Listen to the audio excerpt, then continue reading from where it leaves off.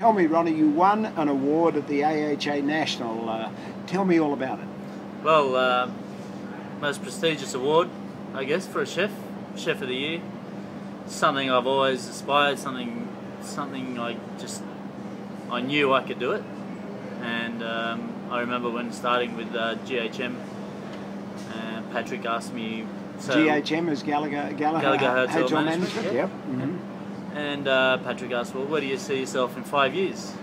And uh, I said, "Well, I want to be the best chef available, and I, I want to, you know, take this on board with this company."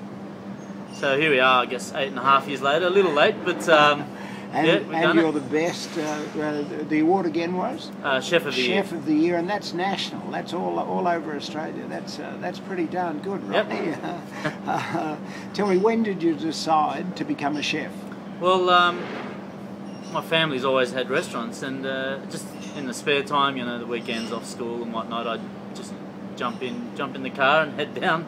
We had a little uh, vegetarian restaurant in Coogee, and there wasn't much there at the point in time, but um, I used to work there and think, you know what, this, this could work. You know? At the age of 12 years old, I'm like, well, let's go through this HSC and see where we end up, and uh, from there on, I just But you liked the idea of being a chef from the Oh, age yeah. of 12. Yeah. I like the thrill of it, you know, the rush, getting getting stuck into it more or less. That's good. Tell me, Ronny, how much training does it involve to get to where you've gotten to at this stage? Well, you you've got to have you've got to have the passion to begin with. You know, there's got to be something inside of you, and it's quite a lot of training. I mean, even to this day, I learn something new, whether it could be from from my apprentice chefs or you know head chefs, could be anyone. You're always learning, and you've just got to be willing to learn and focus on what you're doing. so it's not a job, it's a passion. Really. It is. It's you definitely a passion, and there's there's a, there's an art to it as well. It's Yeah. you know. But if you haven't got the passion, you're probably in the wrong uh, Nah, in the wrong job. definitely. Yeah, yeah. fair enough. Yeah. What's the best part about being a chef? Um, the rush of it, I think, and just just the thrill of you know you've got 200 people coming in and you've got to put up every meal just as perfect as your last one, and have the meal out in orderly time, and you know all that sort of just yeah just the feel so it's it. a real buzz. It's an adrenaline Yeah. rush, and uh, so every time you've got a, you know, virtually every every lunchtime, every dinner, every Yeah. and it's a if it's a just the function- nervousness before the Yeah. before the lunch. You know, if you're not nervous, you're not. You're more or less not going to have a good lunch service. so just being nervous and jumping in on it and making it happen, and then the sense of achievement at the yeah, end of it. doing it each, each day. That's pretty special. Okay, you've told me the best part about being a chef. What's the worst part? Uh, being in the position I am, I would have to say chefs calling in sick seems Oh. to be an ongoing thing, and uh, just you know the reliability is it's not the best. you know, trying to you- you're set, you're ready to go, and then there's always something, but you soldier on and you push through it. But So how I- do you how do you solve that problem? You jump in and do it yourself. I yeah, suppose, definitely, yeah. So definitely. you, just you- take the bull by the horn, and you know away you go.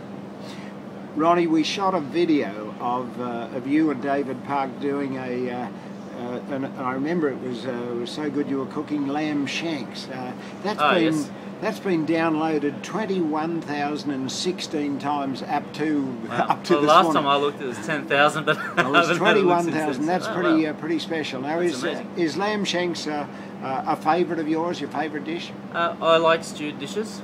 I've always been a big fan of you know slow cooking process and just the way the meat falls off the bone and, and you know it- it's just amazing. Just the silky flavour of the um, stew. Ron, do you have a favourite dessert you like to prepare? Well, yes, uh, I'm.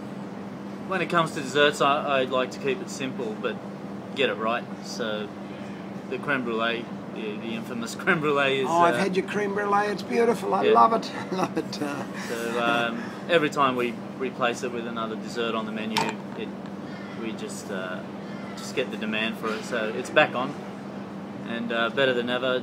Just just to get a dessert so simple, right, and it's just wonderful. It's- Yeah. The simplicity of it. nice feel. Yeah, Nice feel. brilliant. Uh, and um, as we get to the end of this, any advice for aspiring chefs? Uh, have the passion, stay focused, and just anything you put up, whether it's a bowl of fries or a burger, or a beautiful main meal, or a dessert, it's got to be perfect. Be to have a customer saying, those were the best fries I've had in ages, or to have a customer saying, they were the best lamb shanks, your signature dish is beautiful, is the same thing. Yeah. So there's no comparison from whatever you put up, it's got to be perfect. Ronny, if someone wants to experience the uh, the Ronny Ghantous' menu, um, where can they go? Well, you got PJ Gallagher's in uh, Drummoyne, PJ Gallagher's Irish Tavern in Enfield, and PJ Gallagher's Irish Tavern in King Street City, and we've also got the Union Hotel in North Sydney.